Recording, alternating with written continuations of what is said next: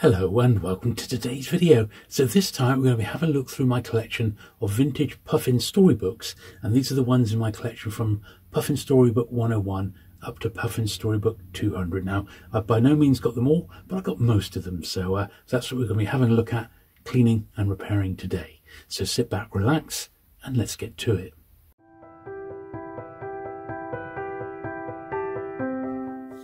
Okay, so starting off with a, a real classic here, Robin Hood. Uh, Roger Lancelyn Green. He did quite a few of the early Puffin storybooks. And this is uh, Puffin Storybook 101, PS 101. And quite a nice copy of this one by the looks of it. And when's this dating? From 1956. Yeah, nice copy of that. Now, a lot of these have got um, paper covers, so we're not going to be able to give them a polish at the end, but we are certainly going to be able to clean all the edges and um, we'll do the insides first to make sure that they're all looking as good as possible. Uh, 102 here. Four mysteries solved by Norman and Henry Bones. and it's uh, really good to look through some of these because this second hundred is a run that I've been really trying to work on over the last couple of years since I've I got the first hundred complete now, and uh, they're not as easy to find as you might think. Um, possibly because they were aimed at children, so the copies haven't really survived in really nice condition. Um, but on the whole, most of my puffins aren't too bad. This is 103 here. Red Cap runs away.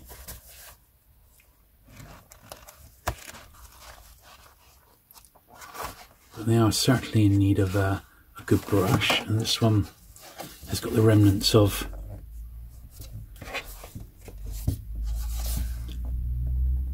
some pencil writing inside here.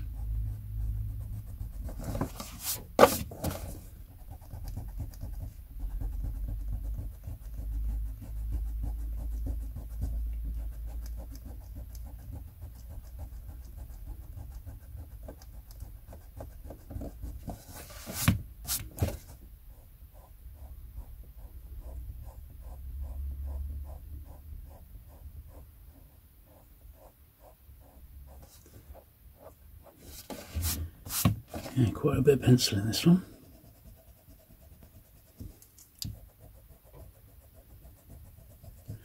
The main thing is with these ones is you have to hope that there's no child's name inside, although, you know, sometimes it doesn't really matter, does it? I don't mind a previous owner's name, in all honesty. Almost there on this one. There we are. Red cat runs away, eh? Don't know the story. Savage Gold. Henry Fuller.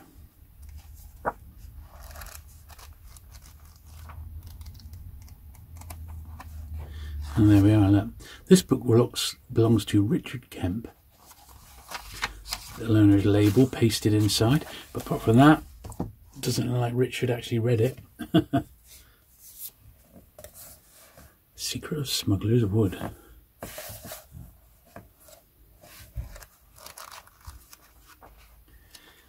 Puffin were really uh, had, in fact, by this point already found their identity, and I think it's a really, really good sort of period for Puffin. This right the way through to well, for the next 10, 10 years or so. Just fantastic.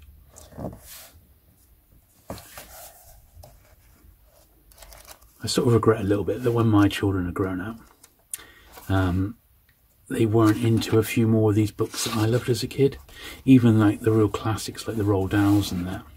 Um, right, I'm going to stick a little bit of glue in there.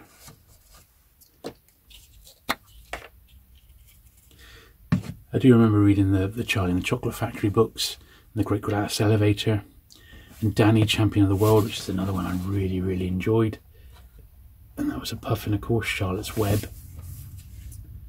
The Hobbit, I read when I was young, but I didn't read the Puffin edition, which we will see a little bit later today. Um, I read the one from the late 70s. It was Unwin, I think it was, was the publisher. I remember very much enjoying that.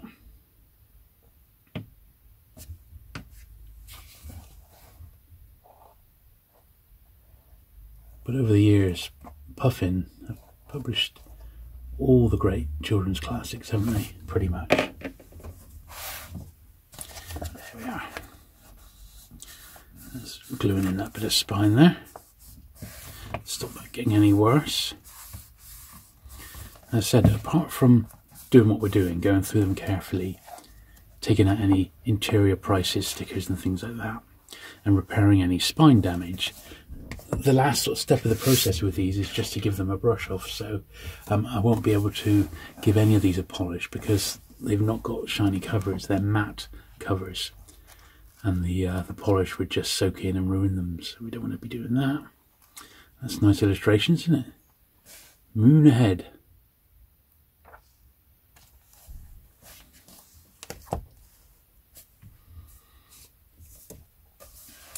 Magic in my pocket.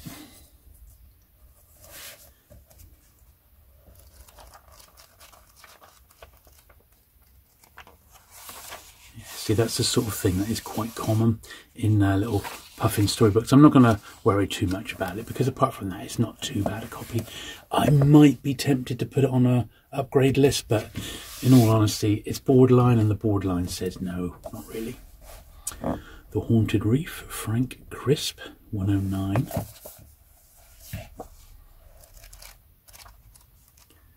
A lot of these are, of course, trying to find the next sort of famous five or secret seven. They were big hits back then. A few, couple of turned over corners here. Someone's been reading it. I don't mind that, that's what I used to do in actual fact. Turn the corner over when I was younger anyway. Wouldn't dare do that now, of course. It's a bookmark or nothing.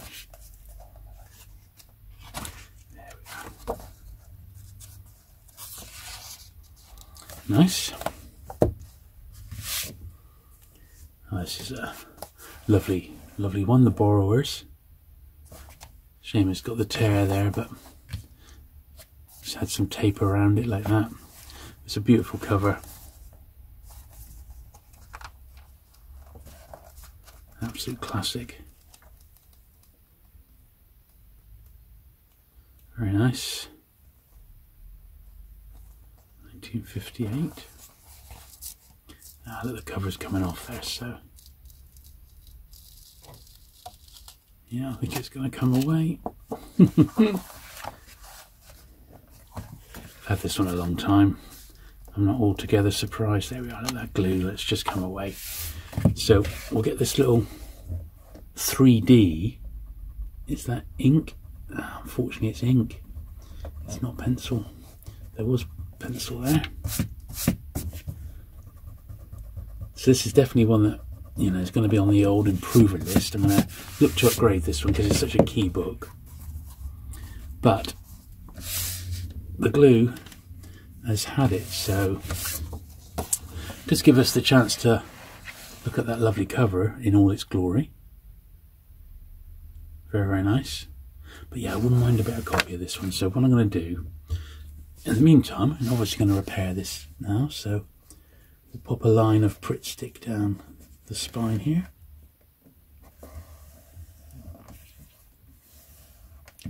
Nothing too dramatic, pretty straightforward. Do the same on here. So both edges are good as we can get them.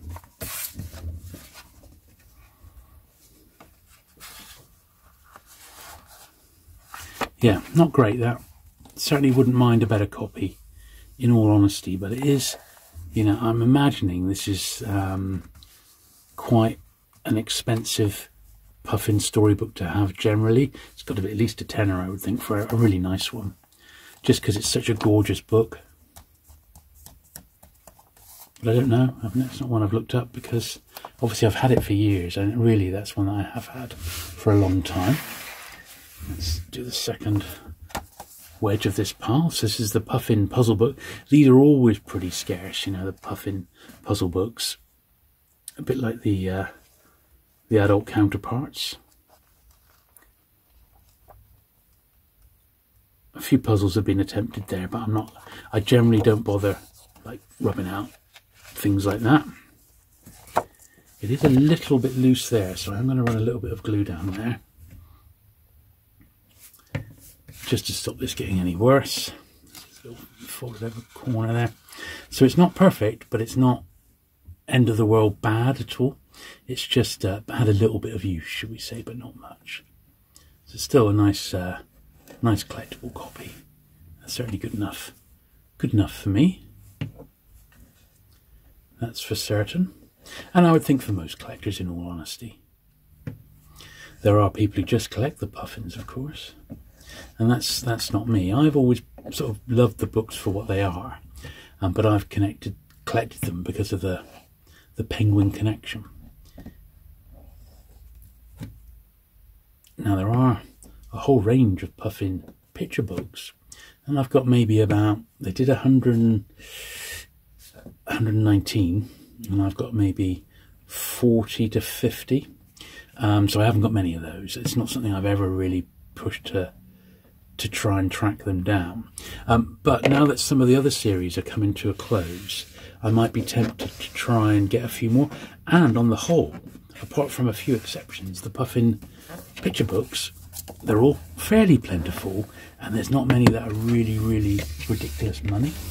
Um, so, you know, maybe I'll give those a try. So, 113 The Perilous Descent into a Strange Lost World.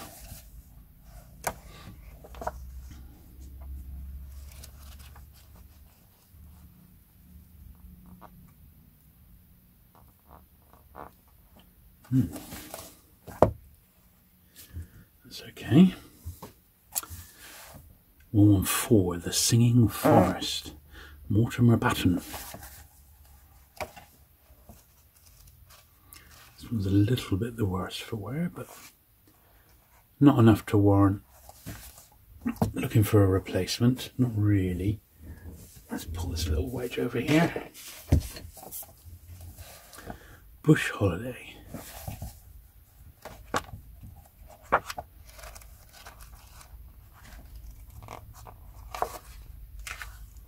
That's okay. Treasure Seekers. Another gorgeous, gorgeous jacket. Very, very nice indeed. It's virtually unread by the look of it.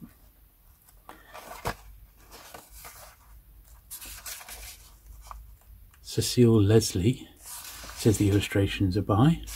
Not sure if that's also the cover. I can't see like an artist-only signature or anything, so we'll assume that that was the cover artist as well. Going into the past. This is a uh, one of their non-fiction ones on archaeology by the looks of it. They did a few of these. Not a massive fan of them, but I understand why it came out as a puffin. Another one in that series, Going to the Opera. Of course, lots of youngsters went to the opera, didn't they? Let's be honest. I'm not surprised that this is in remarkably great condition because I doubt anyone's ever read it. Tiny remnants of a pencil price in the corner.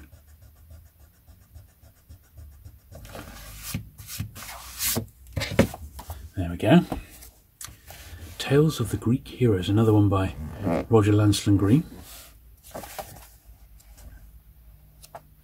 He really made this market his own, didn't he? And particularly in Puffin. He had a few, a few published by them. In the 90s, uh, Roger Lancelyn Green had a, had a son called Richard Lancelyn Green. And Richard Lancelyn Green was a very big Sherlock Holmes collector very, very big collector and yeah, studied it and uh, wrote some books on it. Very learned fellow on uh, Sherlock Holmes. And uh, when I had my store, we bought the contents of a Sherlock Holmes museum on Dartmoor because the owner had to sell up for health reasons. We bought, I say we bought the contents, we bought a lot of the contents, lots of books, another one by him, lots of books um, we ended up buying and some merchandise and what have you. And Richard Lancelyn Green bought quite a bit off us. and uh, sent it off. And I said to him at the time via email, "Oh, are you the uh, you the any relation to Roger Lancelyn Green? I used to read a lot of his books when I was a kid." He said, "Yeah, yeah, I'm his son," and that was that. That's what I sort of thought about it. I kid you not. The next year, um, I'm on my way. I've been to America on holiday, and I was on my way back, traveling through the airport, and I was looking at the magazines for something to read. Um, and um, there was an article. It was the strange case of Richard Lancelyn Green. I thought, what the hell's this? You know. So I picked it up, and I basically I, I was, it was like Time magazine or something like that, and basically, Richard Lancelyn Green, for whatever reason, had taken his own life. And what made it even more mysterious was that he'd created a Sherlock Holmes style puzzle for the police to solve his suicide, basically, if you if you can actually believe that, you know. Um, so that's what happened. Um, and I forget the exact area where it was. I think maybe Norwich or somewhere like that, or Norfolk. But um, his collection, which was really really special of Conan Doyle memorabilia, I believe Stephen Fry purchased it and then donated the whole lot to a uh, to the local museum so it could all stay together. Because um, Stephen Fry is a bit of a Conan Doyle buff as well in Sherlock Holmes. But I thought, wow, we this was only like a year after we, you know, been sort of dealing with each other. So I was really surprised at that. Um, you can look it up online, uh, Richard Lancelyn Green death or something like that, or suicide, and you'll find the full sort of story. But it was like, wow, we very, very surprising. There we are. So that's the first like little wedge. Now I think you need to give these a bit of a brush. And we're doing them in like little hands here. Actually, I'm going to do them in slightly smaller, three smaller hands like that. Need to be able to give them a good, a good grip, as it were.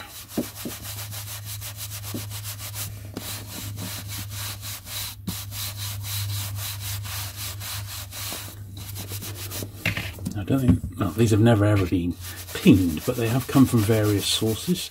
So some of these shouldn't be too bad. Others I think are going to be pretty awful, you know, so we'll just deal with it as we go along, I think.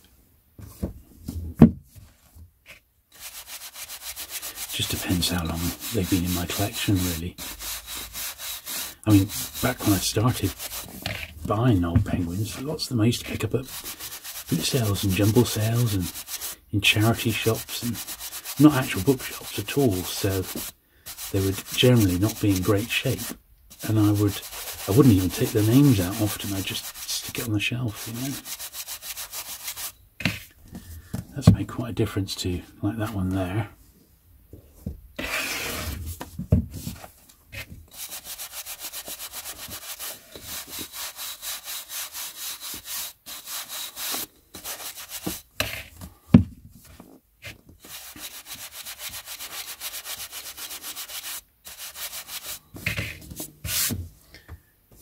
Okay, and do the same here. Do it to three, three little wedges.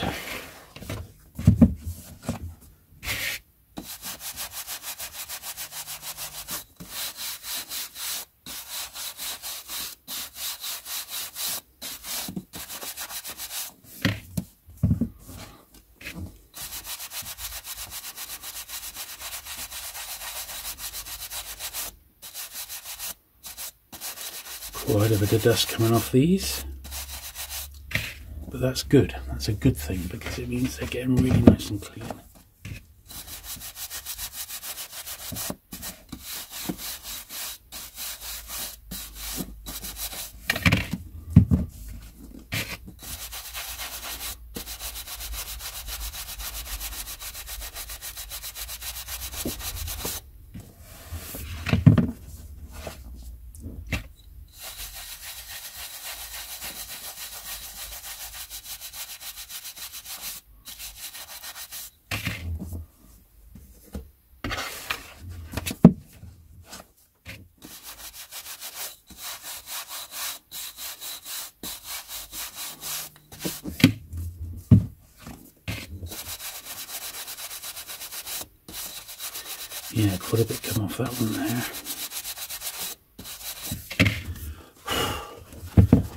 Almost sort of see where the brush has really done its work.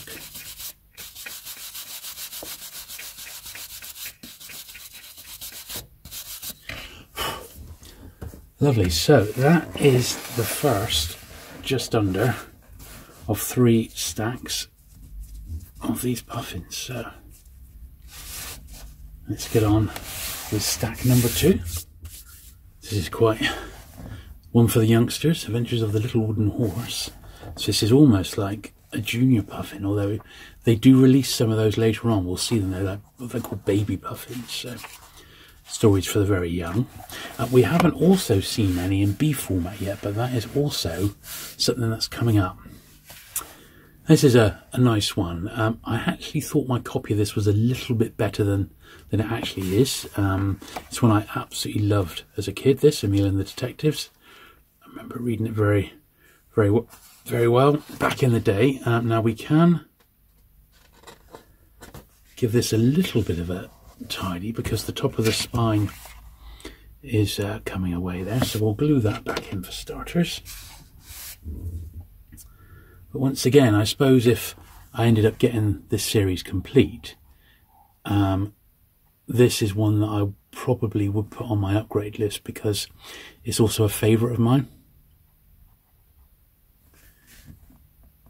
Obviously, I would have read a, a 70s copy of this one I can't really remember the story, but I remember loving the book. And it's funny how that happens, isn't it? But yeah, it's a bit of a bit of a beaten up one that, but we won't hold it against them. I shall uh, just look for a better one down the line. One two seven, the Cave Twins.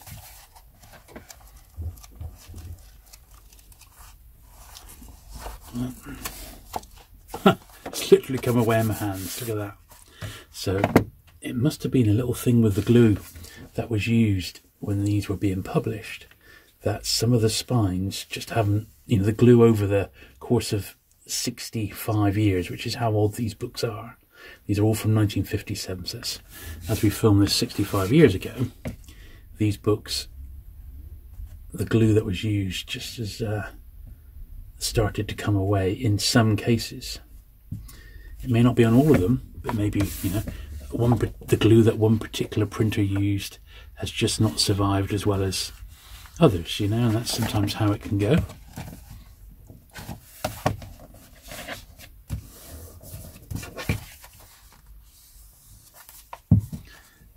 make sure it's on properly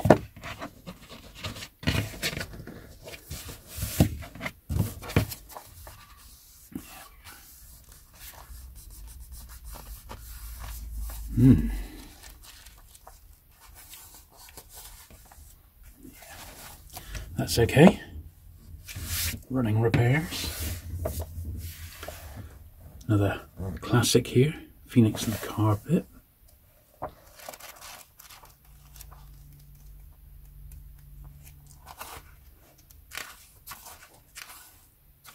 This is 1959, so we have moved on a year or two now.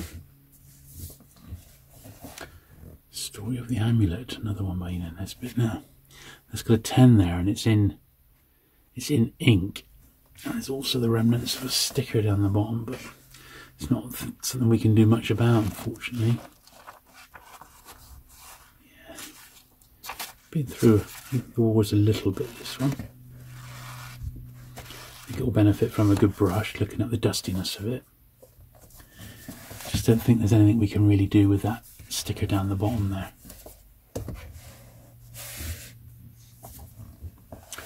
Avalanche.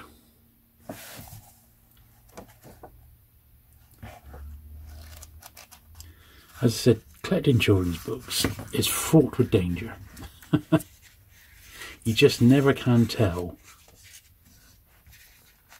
what they're going to be like. And in a way, it's much harder to collect children's books than adult books because, well, they're designed for children, so children read them and they don't take care of them. They're just looking to have a good story, aren't they?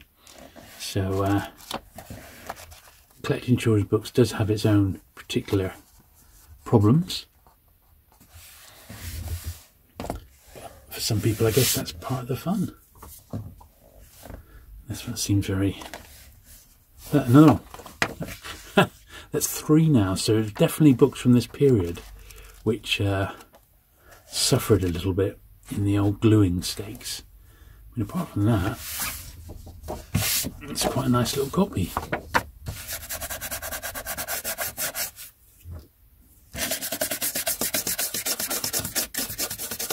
Clear out the old bits of glue.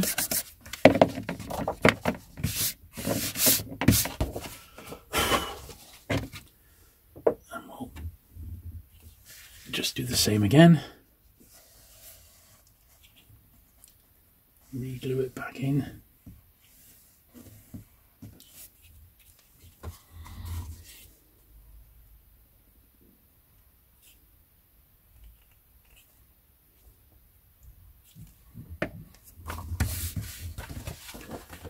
Nice and easy.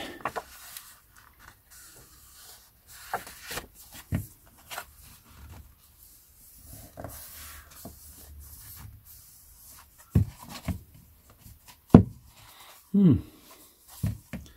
So that's what three we've had to reglue today. Incredible, eh? I never would have guessed that. Sabotage at the Forge. A story for boys set in a Tyneside steelworks. That's pretty specific, isn't it?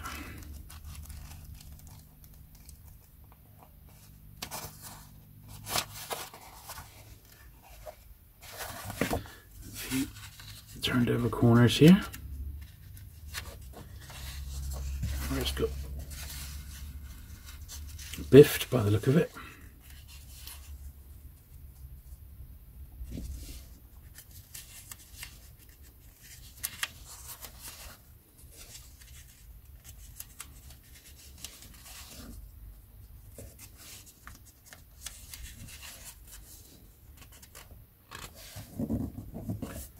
Yeah, there we are.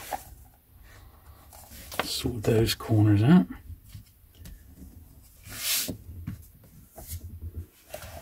Story of Jesus, Eleanor Graham. She was the Puffin editor from when it started through, she's got a few more years to go. Then it's taken over by a lady called Kaye Webb, brought some sort of more modern titles to the list. This is number 136.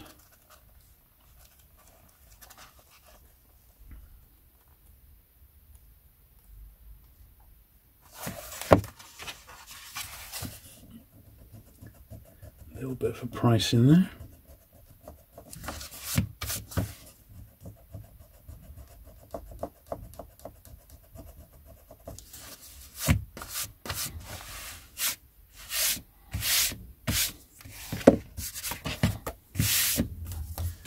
Lovely. Now this one is number 137, but it's in a, a later format, so it's either a reprint or, yeah, so it came out in 1967 as opposed to these, which are about 1959. It is the correct number and it's in the correct space. Um, I've got the later editor there, Kaye Webb. Um, it's just for whatever reason the number wasn't used at the time, or this book got delayed and uh, but there it is numerically, and that's how we're looking through these. It's numerically. Um, here's another borrower's book, Mary Norton. Very, very nice indeed. Same style of um, artwork. Absolutely gorgeous books. These, the borrower's series. Very, very nice indeed. I suppose since my kids didn't read a lot of these when they were growing up, I'm going to have to rely on grandchildren to read some of these too now. Let's start another pile now. The Saga of Asgard, another one by Roger Lancelyn Green. Didn't realise you wrote so many.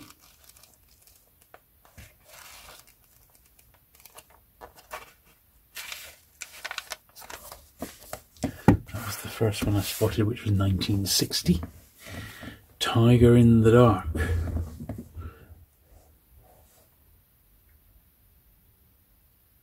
Ah, now the next couple are actually out of place. So I am just going to take this little wedge here and make sure that these next few are all in the correct order because we want to do them numerically.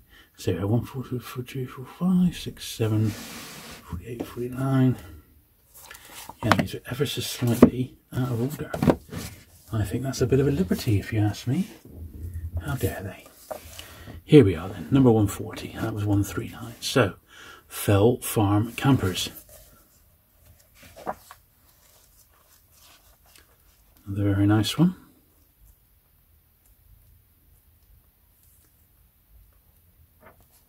Shirley Hughes was the illustrator. You might recognise her name. She actually passed away, I think, last year, but she went on to write her own uh, children's bestsellers. Now, that's also got a little bit of spine coming away at the bottom, so just going to get a little sliver here, and not it's not massive, just enough to sort of.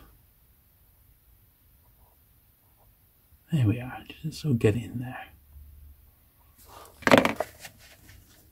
There we are. But although I've not read Fell Farm Campers, I believe the Fell Farm books are very good. Eleanor Farjeon's book of stories, verses, and plays, and this oh. one very much is illustrated by Edward Ardizzone, as you can clearly see. Beautiful. Right, there's some writing at the back there, so we'll get rid of that in a minute.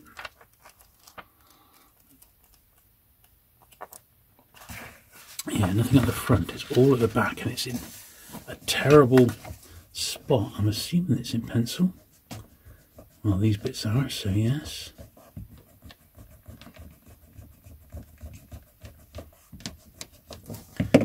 Right, that was the easy bit.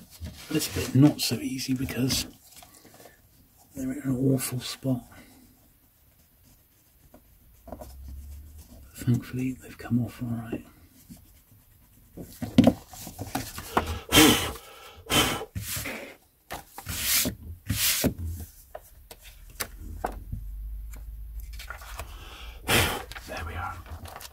looking good. That's a really, really nice one, that. It really is great. Lovely. That is what you call a nice puffin. Second puffin quiz book. Number 142.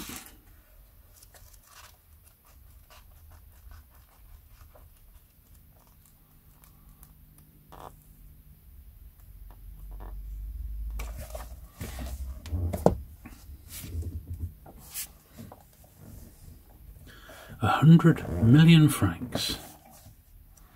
That'd be nice, wouldn't it? Oh no, there are no francs anymore, it's euros. I'll have 100 million euros, please. Very, very nicely illustrated that. Right the way through. Great illustrations. Look at these.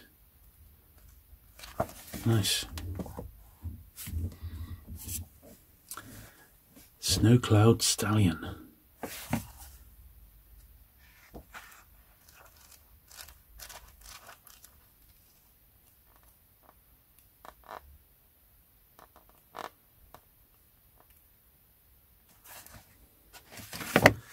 See, these are still Eleanor Graham, the original Puffin editor.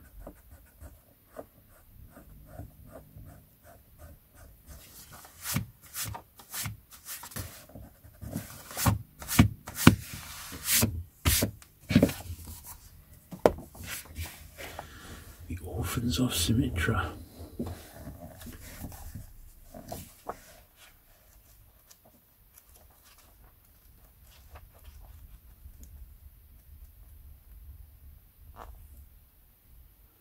1961.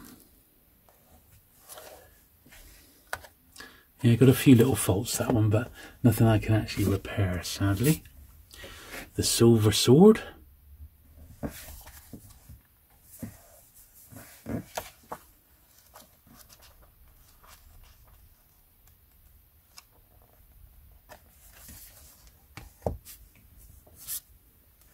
Oh, look at that, another real classic, The Railway Children.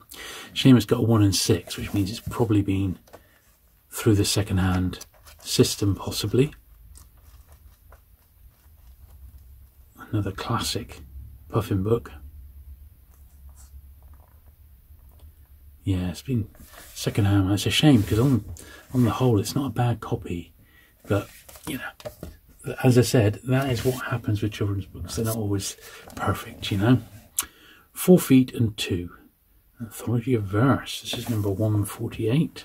And it does appear as if I've got far more of the first 50 than of the second 50. So it looks like there are a fair few missing in the second hundred, more than I thought in actual fact.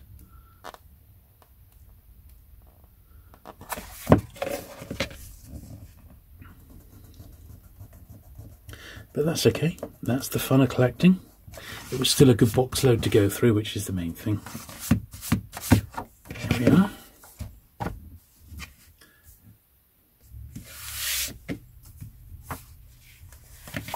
The first of the Moomin books we've seen. Finn Family Moomintroll. That's got a tiny little bit of glue into it. Have in a minute. Highly collectible these books and uh, got a lot of fans. A lot of fans. I did have a later 70s Moomin box set, which um, I did really like. However, someone in Japan, I put it on my Instagram years ago, this was, um, and um, someone in Japan contacted me and they basically they just offered me stupid money for it. So I said, yeah, fine, you can have it. Because it wasn't pre-ISBN, which is my main period. So I let it go, but it was a nice Moomin box. It had four books in they were all sort of 70s ones, not like this, which is early 60s. In fact, this is the very first Moomin book. But yeah, very, very collectible. Never read them myself. Anything I can sort of say I did read as a kid that was similar was Babar the Elephant, which I don't know if you've heard of that one, but they were alright. There we are. Let's sort that that corner out there. But yeah, quite quite sought after the Moomin books. Tiger in the Dark, 151.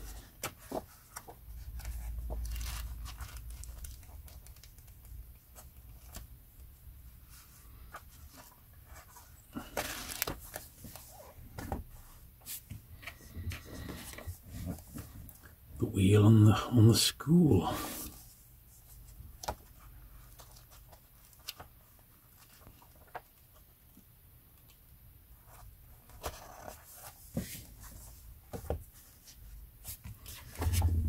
and the log the ark 154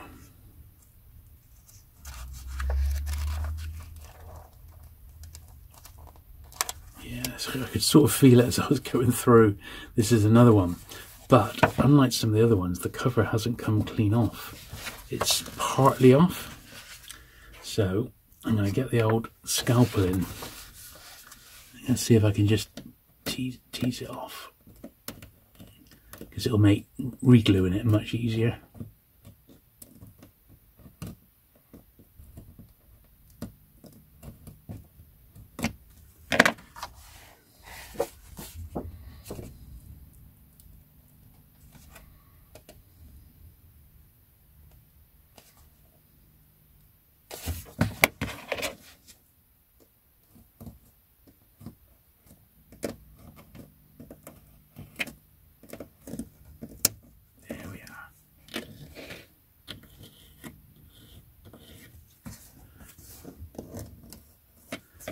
seems one of the edges is managing to hold on, but that gives us a nice clean edge to um, to reglue. So we'll just whack it in there and leave the rest of it in situ.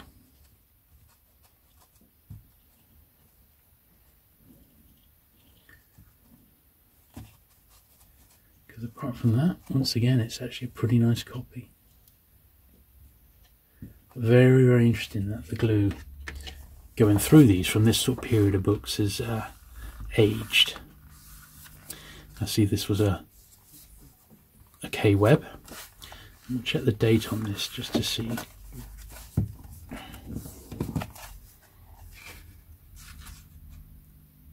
Nineteen sixty three. I can't remember off the top of my head exactly when Kaye Webb took over editing Puffin, but I knew there was probably a transitional period as stuff that Eleanor Graham had started on finally got printed.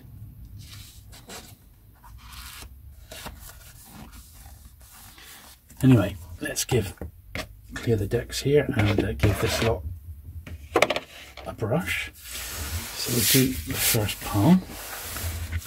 Once again, I'll split it into three, I think.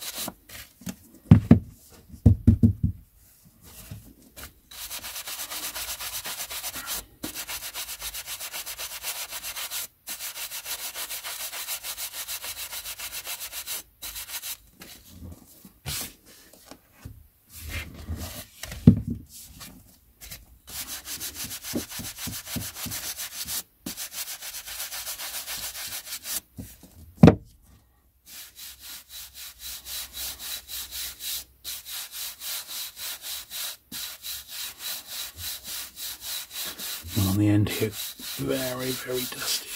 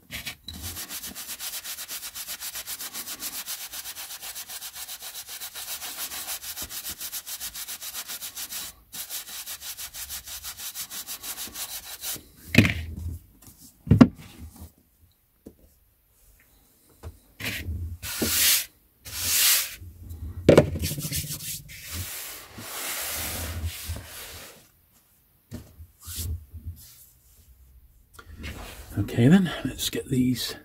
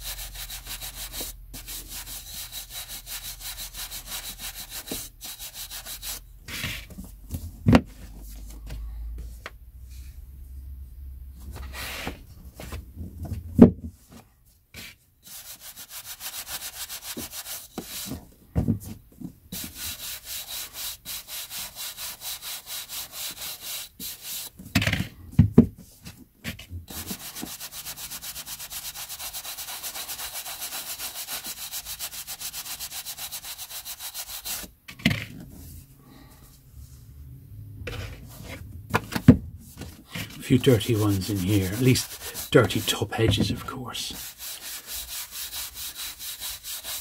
And that's what we're addressing here right now, and uh, the difference it's making is really great. Quite a bit coming off these.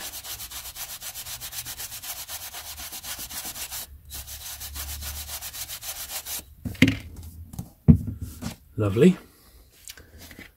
Let's get the final pile. Okay, so cracking on, 155. Carbonel, Barbara Sleigh. the last little pile now, sadly, but they are really, really nice books. I, I do very, very much like these. 157, this was a recent pickup. So this one, I believe, has already been done. Yeah. Although actually has got, now that I look at it, has got a bit of a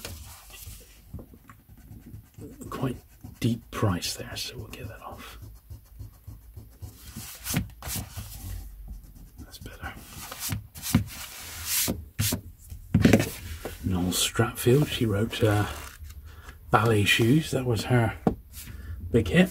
Here's probably the most valuable of the vintage Puffin storybooks, that's The Hobbit.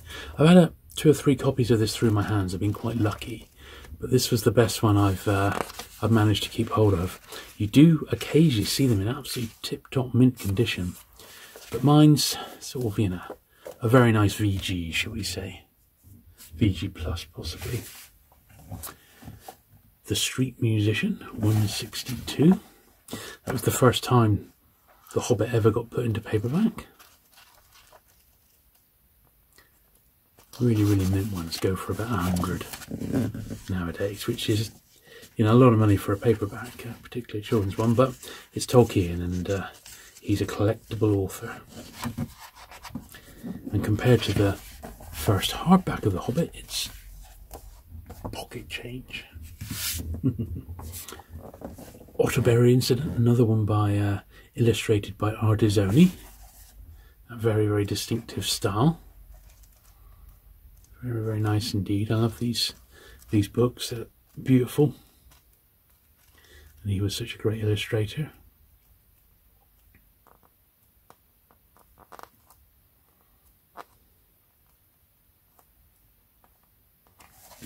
Lovely. Happy Prince, Oscar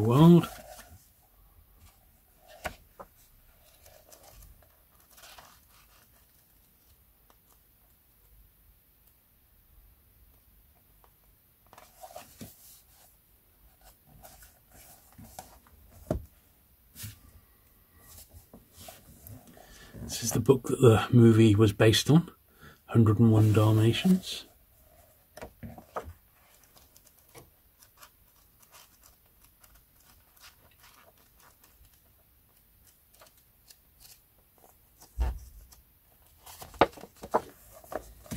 Bit of a creased cover, but not too bad. Greyfriars, Bobby.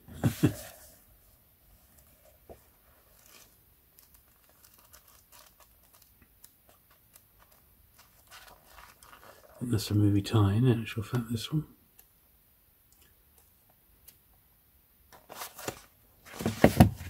There's a stamp but there's also a pencil name of some sort in there that we're going to get out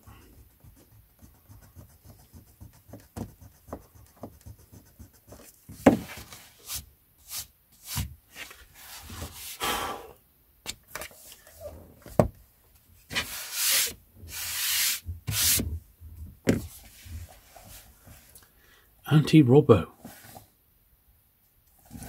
Right, this one's got a bit of spine to repair.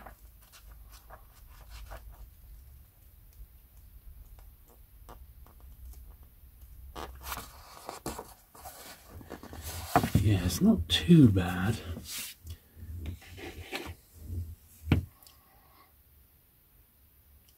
We've seen worse.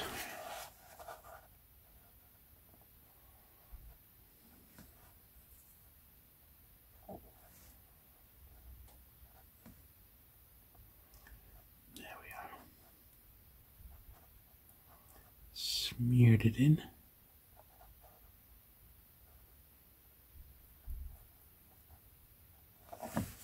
Put a bit more in there.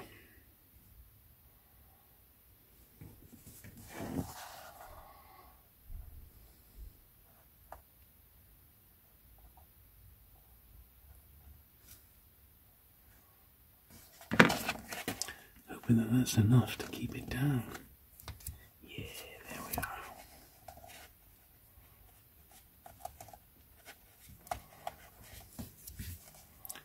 bit better, doesn't it? My uh, screwdriver though, it's got very mucked up end, so I'm just going to clean it off.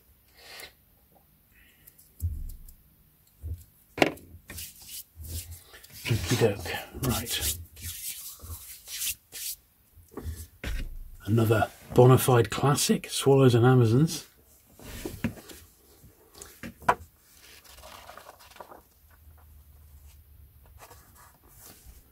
Great book there. Now, we are of the period now, so these books, these later ones here, published in 1962, and unlike some of the early 50s ones, these ones have got slightly glossier covers.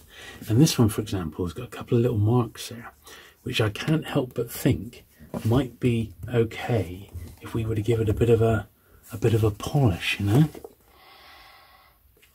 I don't know how far we can go back comfortably to do it. So it may be, in actual fact, we don't. And I just do it on a couple of books which have got specific needs, like this one. So I think what I'm going to do, because I've got those those two lines there, just going to pop some on this bit of cloth. Just to see if that makes a difference.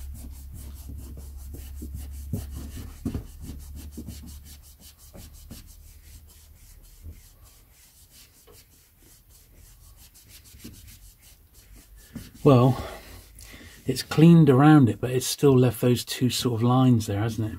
It hasn't exactly taken a lot off, so, you know, it is what it is, I suppose. Um, as I said, I wasn't intending to give these all a, a polish because most of them can't be polished, but that was a specific case. And In the end, it didn't actually make any real difference. 1962, that one. A bit of a famous one. How to be top. Illustrated by Ronald Searle. Great, another great artist.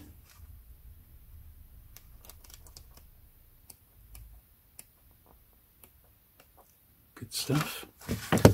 It's got a name inside. which we will carefully dig out, like so.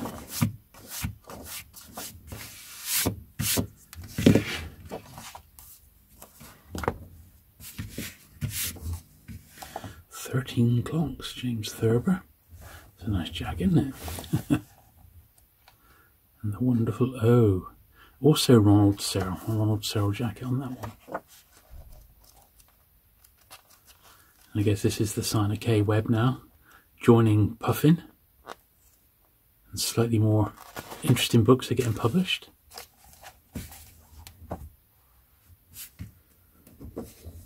One we've missed in this run, because I haven't got a copy of it, is uh, a bear called Paddington. One I'm still on the lookout for. Hopefully going to pick one up eventually. It's um what they call an early puffin and it's in B format. And, uh, you know, I don't really want to be paying a fortune for it, you know. But I would like to get one. Cricket in Times Square.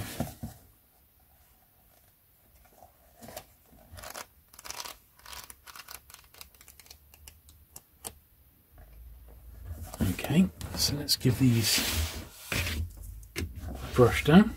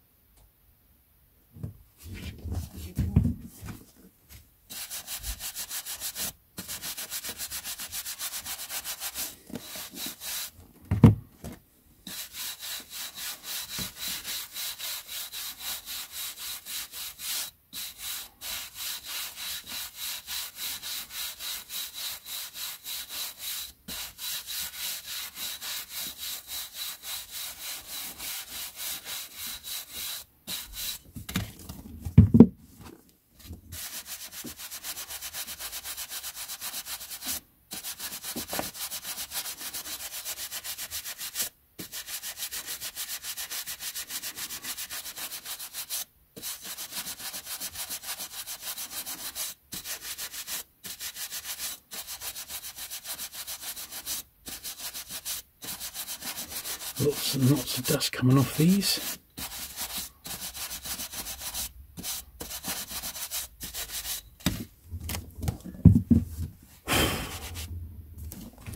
But that's okay.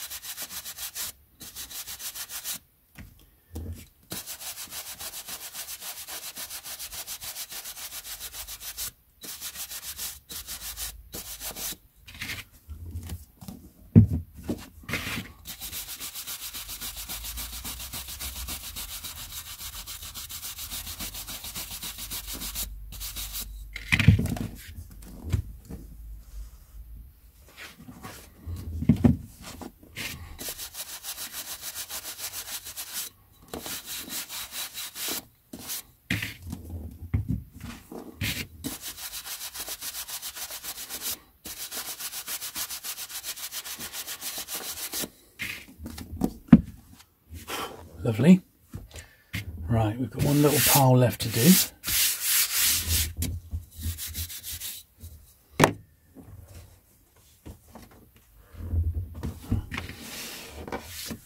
Starts off with an absolute classic, The Little Prince.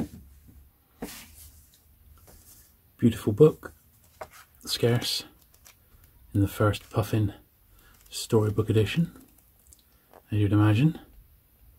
1962.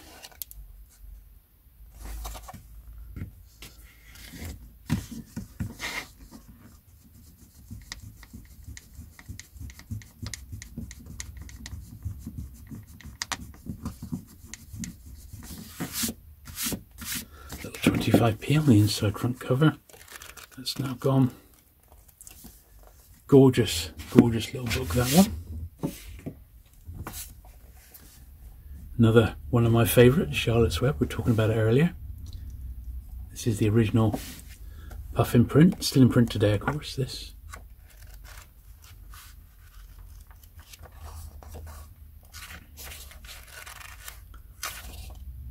Again, I thought my copy was a little bit better than that. Nothing I can do on the spine there. It's, it is what it is.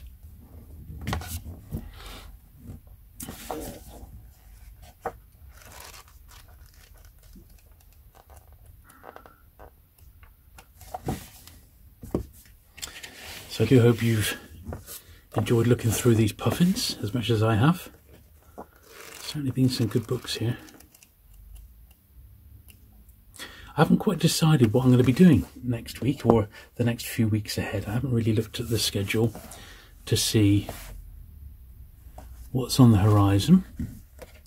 We haven't done a dedicated penguin or pan cleaning for a little while, so we're probably due one of those. So don't be surprised if next week we do the next batch of pans, which I believe is great pans. Now this is one which is in B format, so it's slightly bigger, and it does say a young puffin. The print's a bit larger as well as the book being bigger. I think these are all quite scarce to find these days. And that original Paddington book I was telling you about, that's in this format. It's much bigger, so it is what it is. Antelope Singer.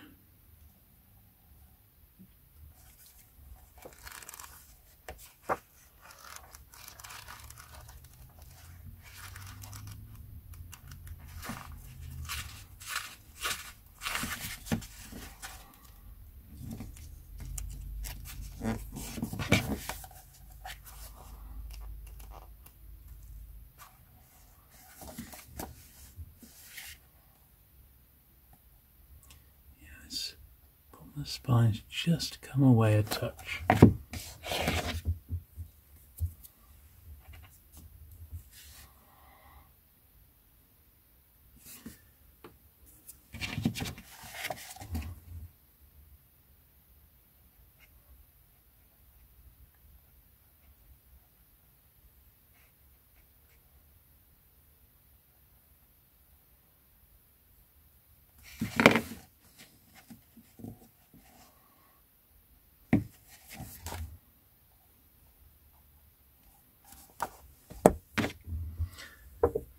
Thanks as always to my Patreon and channel members. Now, you can join and support this channel by going to my other channel, just Jules Burt's Collections and Unboxings. You can uh, join the channel through YouTube. You can just head on over to uh, patreon.com, look up Jules Burt, and you'll find my uh, page there if you want to join us on Patreon. Also, as I write this, I'm just launching um, a merchandise store. Big bit of fluff coming off there. with some stickers and things on. So look out for lots more in the future. I'm just starting to come up with a few designs, but I've got sort of my channel logo and things like that available on stickers and things and mugs if that's what you'd like to buy. And it does support the channel at the same time.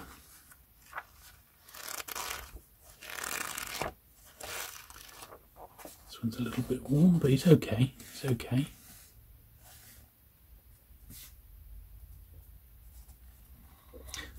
Bottom of the spine's already been repaired on that one.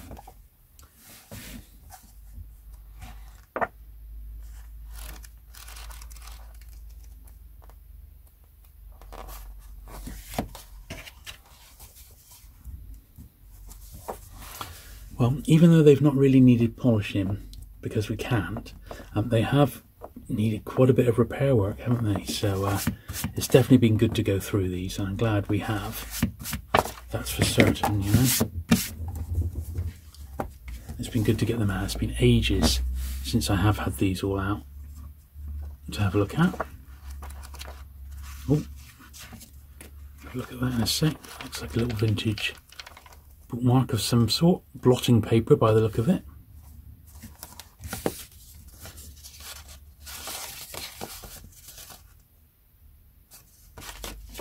Yeah, just a bit of blotting paper. Bridge Manor.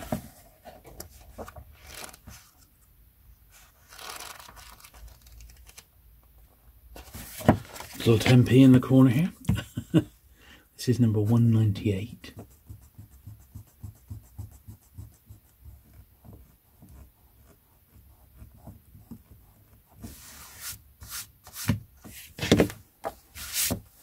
There we are, number 200 is another large format one.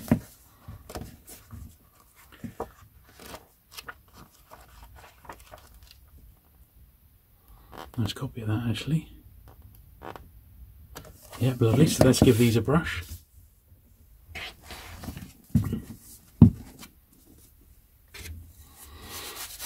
Yeah, thank you for watching today. Sorry fans of uh, Mr. Sheen have not really seen it in action, but as I say, because of the nature of the books, can't really get away with giving these a polish because it'll end up doing more damage than good.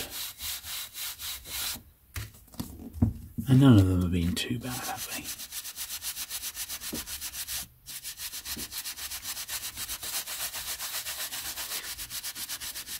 Don't forget, there's quite a bit of a backlist now on the channel, so do check the older videos. I'll put a little link to the uh, the first part of this, the Puffins 1 to 100 in the description and on the end screen of this one. So you can have a look if you want to go back and see the first 100 puffins. Those are complete. That's the, they've got the whole lot of those. But there's lots of other great content for you to look at.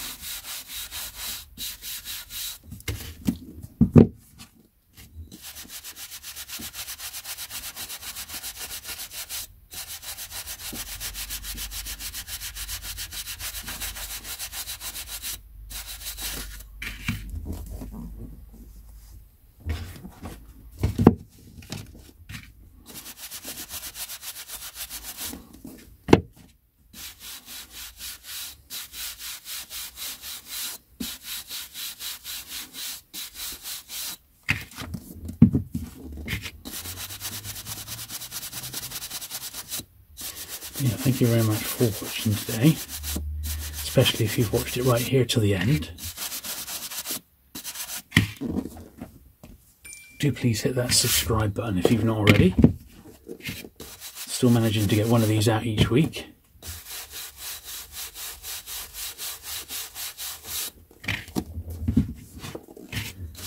And I should look forward to seeing you again next week with another video.